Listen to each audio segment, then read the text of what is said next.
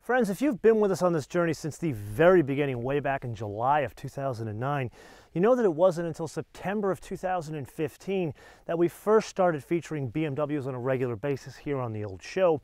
It was with the then new G12 750 from Monticello Motor Club. So anything that came before it in the way of a Mini or a BMW, we never had the opportunity to share with you. Yes, we did feature Rolls Royces in that period, but not BMWs and Minis. So we missed opportunities like this, the i3, when it came out, what, about a year, year and a half prior to the G12 in that A, it was a totally new car for BMW, but B, more importantly, it was a totally new propulsion system. And C, I would think the biggest reason why this is interesting, at least to me, is the manufacturing and the ethos that goes behind it. Now, the realities of our business, uh, if we miss an opportunity, uh, we either can't look at that car because we just don't have the time just running around looking at all the other new car introductions, or there's just the realities of the ROI of looking at a car that came out three years ago. It just doesn't make prudent business sense for us. So we've waited for this opportunity, which is an update to the i3, specifically a bigger battery. We'll look at that, but first, I think we should look underneath here to understand really how different this is from its segment. And uh, it would stand to reason you would think there's an electric motor underneath here but there isn't, especially if you pull up these little screens here. There's no electric motor. You see like the subframe underneath there. You see all the steering componentry. And yes, you do see a very small frunk. Just from this perspective, this wouldn't be the best Costco hauler, I would say, but at least you got something up here. But this really just tells you that there's something very different about the i3, something you and I need to unpack.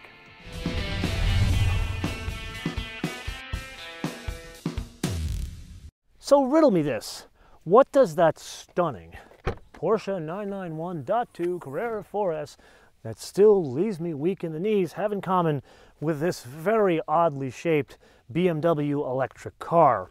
If you were to say that in both cases, there is no way on God's green earth to see the engine, or in this case, the electric motor, even if you were to pull out this panel and this cover to the dipstick for the range extender, you would be correct. Now, this is where things really start to get different with the i3. Number one, the electric motor is placed in the rear, so kind of like that 911. Uh, it drives the rear wheels, unlike the Carrera 4S version of that 911. Uh, but it's 170 horsepower, 184 pound-feet of torque. And what's interesting about that is it comes in at zero. That's what we like about electric cars. Now let's put that aside. The big change here for this latest model is the battery. So previously there was a 22 kilowatt battery on offer. And I don't want to just say previously because that's somewhat misleading. That 22 kilowatt battery is still on offer and that's good for 81 miles of range. So says the US EPA, all those people. The High Commissioner people in Europe, they come up with a different number. Now this one is fitted with the larger battery. It's 50% bigger, 33 kilowatts. This one is good for 114 miles of range. Again, Europe comes up with a different number. Now, this one you're looking at, uh, this is the most loaded to the gills i3 that is on offer. Uh, it is called like a pterodactyl version. I forgot the name. They come up with these really cutesy names because they know hipsters are going to buy or lease these things. You shouldn't be leasing cars. Uh, so this one is fitted also with a range extender. Now the range extender is a two-cylinder 647cc. It's effectively a motorcycle engine. It comes from a large BMW scooter, the C650 GT, which is $10,000 for the actual whole scooter, but they give you a $6,000 discount to have just the motor fitted to this vehicle.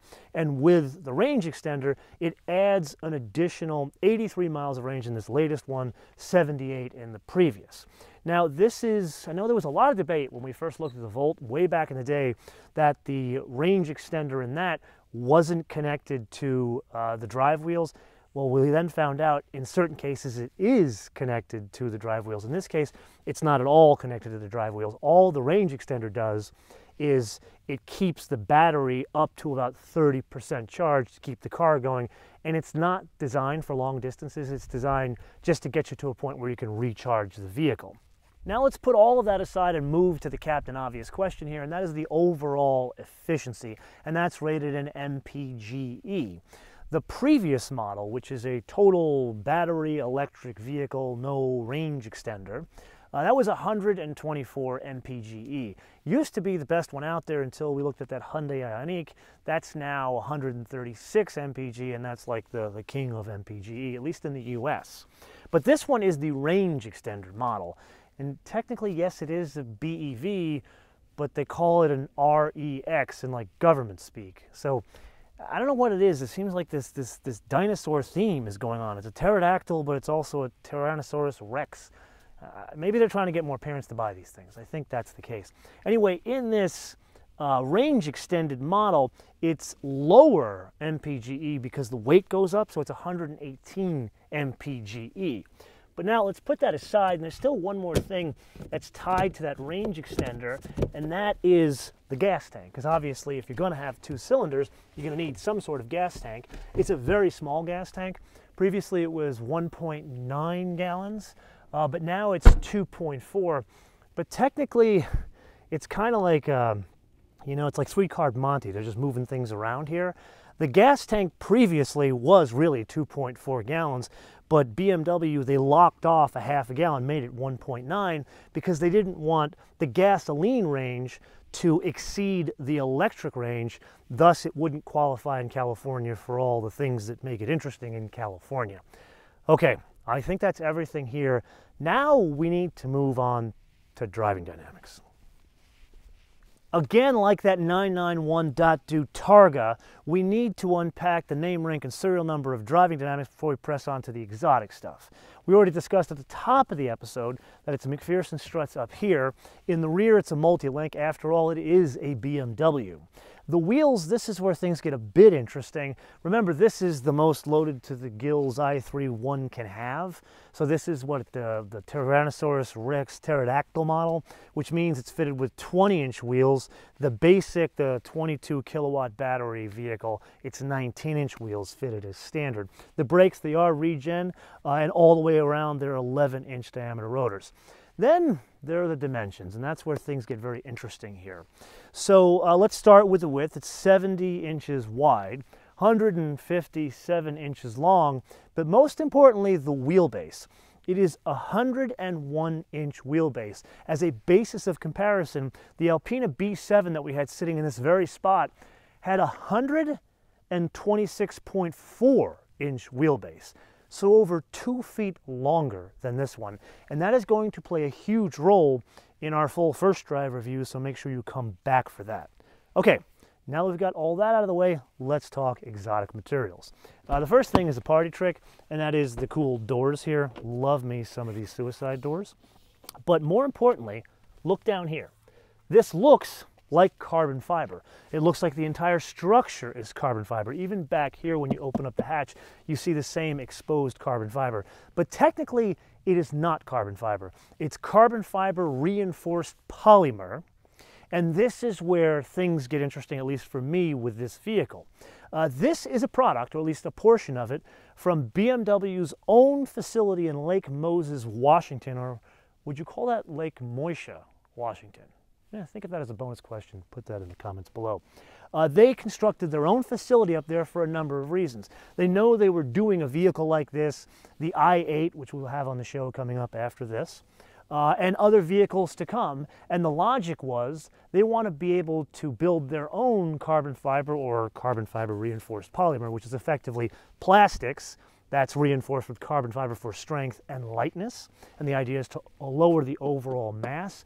But being that they wanted to really invest heavily, they wanted their own facility. So they get the raw materials from Japan. It's then uh, manufactured into this raw material of this carbon fiber reinforced polymer in Lake Moisha, Washington. And then that is sent to, what, 50 miles north of Munich. And then they make it into these structure pieces to lower the mass of like an i3 or an i8. And then that in turn is sent to Leipzig to make an i3. Now, if you don't think that's cool, you're definitely not paying attention. And that is not the only exotic materials here, but for that we need to go to the inside. So, the interior. It's high tech, but it's definitely not as high tech as your own carbon fiber factory, specifically placed in the high desert of Washington state to take advantage of abundant yet inexpensive hydroelectric energy. No, this is high tech for the sake of we're going to slap you across the face. Actually, no, not slap you, punch you across the face to make sure you know it's high tech in here. Now, the first thing we got to focus on is the textures. You and I have debated on this for a long time and pretty hard recently. Like in the CTS, that came out what, in 2014? Too many textures on the door. Then you and I just argued about the Navigator, way too many textures going on in there. And the reason why that doesn't work, uh, as opposed to, say, the Volvo XC60, is because the textures in the Navigator are low quality, where the Volvo, they're high quality. Here, let's just count. On that door panel, one, two, three, four, five, and six. Six different textures. Now, I would say that's way too many textures going on in one small space in the interior of a small car. But really, you got to look at the ethos, what's going on here. BMW designers, especially the color and trim people, are not just putting all those things there to make you just get dizzy. They're putting them there to reinforce where the textures come from. Like, for example, there's some cloth there, there's some leather, and there's even some hemp. Not exactly my cup of tea, but there's some hemp in that door panel. Now, we talked about the, the, the different dinosaur names, but in, in reality, what they're called is there's a Deca, there's a Mega, then there's a Giga trim, and then there's the Tera, which this is. Now, when you have the Tera, that's when it's full leather. Uh, it changes the wood. Now, one thing that BMW went out of their way back in 2014 to point out was the wood in all of the i3s was eucalyptus that came from sustainable forests somewhere in Europe. This one is more of a luxury model, so this is like standard BMW wood, and it's full leather even onto the dashboard and the door panels. And you really can't see it here, but these are brown seats. You really got to see it in like just super strong daylight to see that these are brown. Odd choice with a black car. Then, uh, for the first time, this is fitted with a moonroof, but I wouldn't call this a moonroof. I'd call this uh, portholes because you've got this, I think, what is a structure piece here. So this is literally, I, I feel like I'm 20,000 leagues under the sea, but I still like the fact that there's a sunroof in there. Uh, the rest of it, some of the design choices, some work. Like I, am starting to like this setup of the dashboard and having this huge expanse here. It definitely grows on you. Like, very strong term. I'd say it's more funky to the point where I, I probably could daily something like this. Not a huge fan of this uh, steering wheel because it looks like it came out of like a New York City LTD Crown Vic taxi. Uh, the rest of it, again, I can't overemphasize. Super high quality textures. This one, once again, lot every option, including the Harman Kardon sound system, which kind of kicks. Okay, I think that's everything on the inside.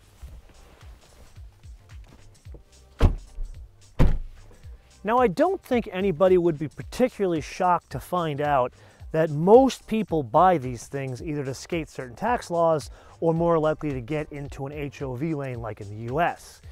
Uh, that brings up an important point here.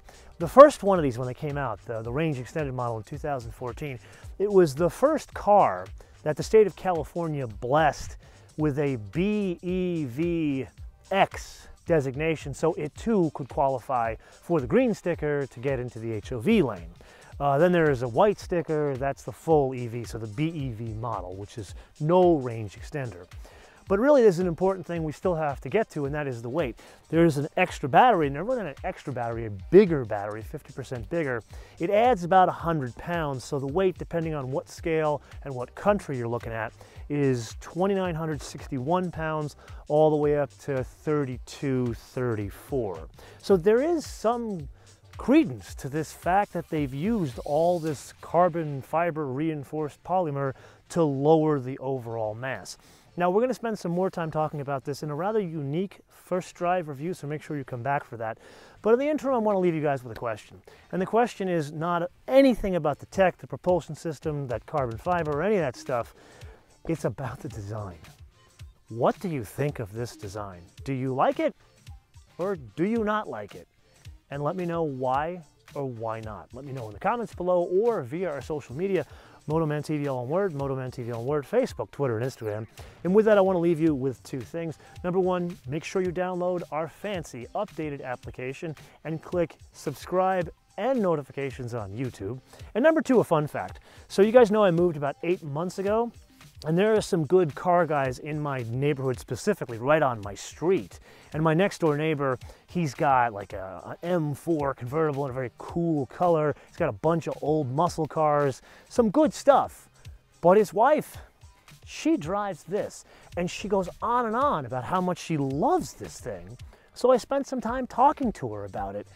And it turns out she went from a Mercedes Benz station wagon that she had for 13 years to this, yet she loves this more. Until I see you next time, bis später.